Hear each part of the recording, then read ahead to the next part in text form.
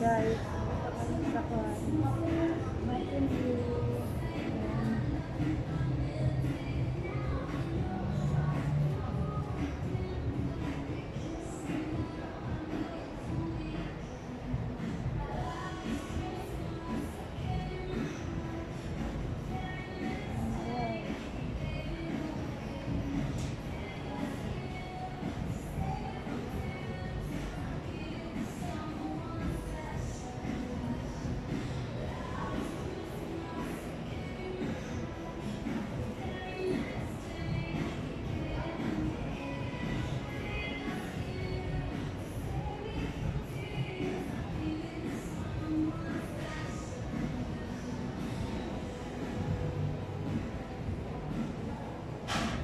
Laki-laki ng Christmas tree, guys.